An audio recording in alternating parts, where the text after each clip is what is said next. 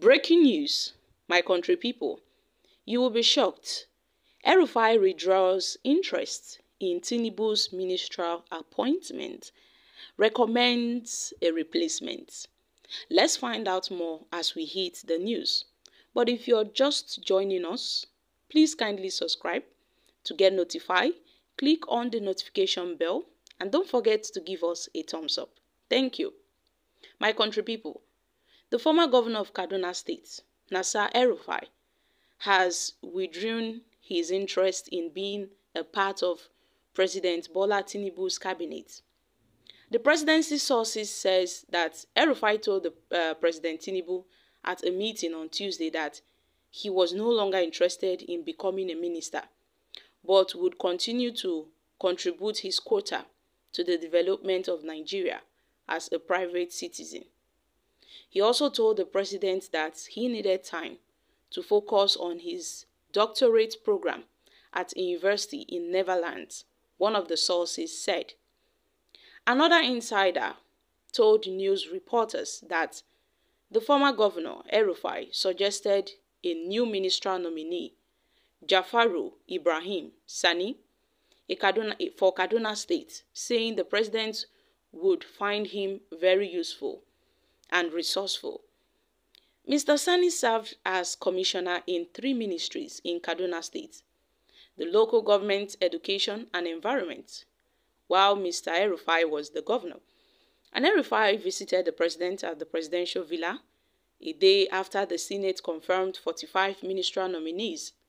After a, a week-long screening of 48 of them, the upper legislative chamber, however, up withheld his confirmation and those of two others, citing security reports from the State Security Service for the action. The two others were a former senator from Taraba, Sani Danladi, and a nominee from Delta State, Stella Okotete. Our sources said that becoming aware of the Senate's pronouncement of his case, El-Rufai, who only returned to Nigeria from London on Monday, sought and got an appointment to meet the president.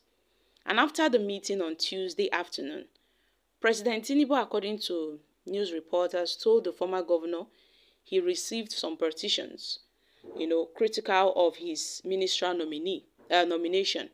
And then the president asked for 24 hours grace to review the petitions and the SSS report to the Senate to enable him reach a decision. It was at that point that El-Rufai responded that he was no longer interested in being a minister, since it appeared some forces around the president were scheming intensively to block his emergence, to block his, um, you know, coming up as a federal minister. And then Mr. El-Rufai had disclosed this during a confirmation hearing on, on the 1st of August that Tinubu asked him to work with him on the power problem facing the country. And according to him, the president had given a target of seven years for Nigeria to stop experiencing this power outage in the country. So, my country people, it seems that um, El-Rufai now, at this point, has decided to back out from this race. I mean, it is so obvious that there are some cabals blocking his emergence as a federal minister. They don't want him to be a part of, you know, Tinubu's government. They don't want him to be a part of Tinubu's uh, uh, cabinet. So they are doing all things possible, according to El-Rufai. And at the Tuesday meeting, El-Rufai also reportedly told the president that since he would no longer be in the Federal Executive Council, he would return the next day with his team to present the preliminary work done so far on the energy sector. The team that accompanied the former governor to make presentations to the president on Wednesday includes the Eyo Ekpo, a former commissioner at the Nigerian Electricity Regulatory Commission. Also, Hazif Bayaru, a former commissioner and administrator of the Kaduna Capital uh, Territory Authority. Also, Olu Oyekan of Baston Consulting Group and Ayodele Oni, a lawyer. Olu, the special advisor to the president on energy matters, presented on gas. And Erufai is studying for a doctorate in public policy at the United Nations University. His associate says he prepared to leave office as governor in May this year. He had inducted his desires. He has indicated, I beg your pardon, he has indicated his desires to exit public life and to concentrate on his PhD program.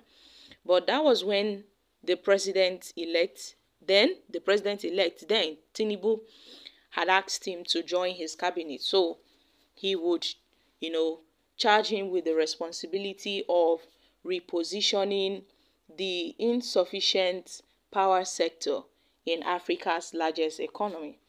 It is unclear what suddenly went wrong between the two men, such that an agency of government would block Mr. Erufai's uh, ministerial nomination without the president lifting a finger. So, my country people, this is, you know, really interesting.